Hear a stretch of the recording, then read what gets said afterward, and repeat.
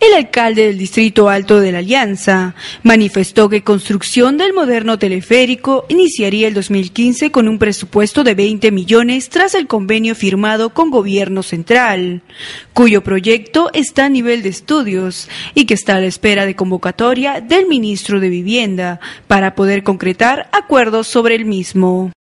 Los estudios van a ser todo este año. El 2015 debe estar ya dándose alguna, eh, digamos, eh, según lo que nos han manifestado, el 2015 debe de estar ya hacer la ejecución del teleférico aquí en Tacna. ¿no?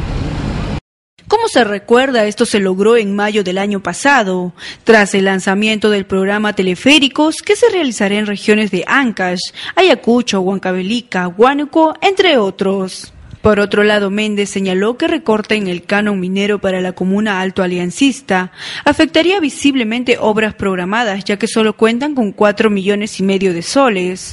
De reducirse llegará a dos millones y medio aproximadamente y no hacemos nada.